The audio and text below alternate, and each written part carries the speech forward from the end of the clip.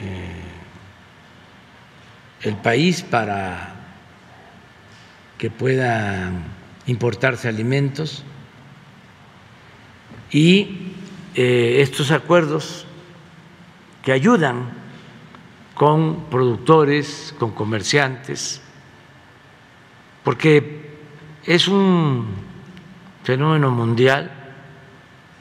En efecto, hoy se dio a conocer el dato del INEGI, eh, es una inflación anualizada del 7.8, 7.68. 68. Este, eh, nosotros pensamos que vamos a ir bajando.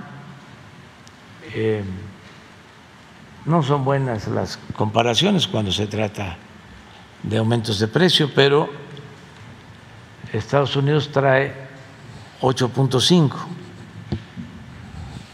y en general todos los países están enfrentando de inflación, porque sí, eh, primero fue la pandemia y luego la guerra, y esto afectó mucho el mercado mundial.